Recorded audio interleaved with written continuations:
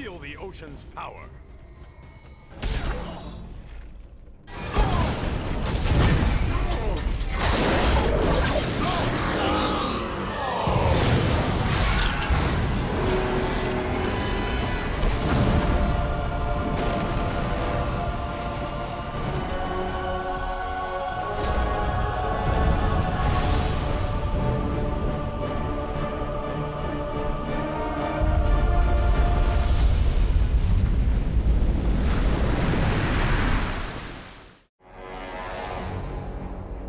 Superman was right.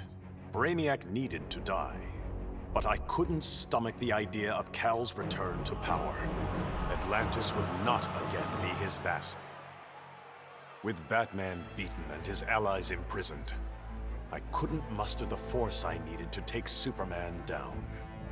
I'd all but lost hope when my Marines discovered an abandoned insurgent base hidden in the Southern Ocean. Here, Lex Luthor had perfected his inter-universe transporter.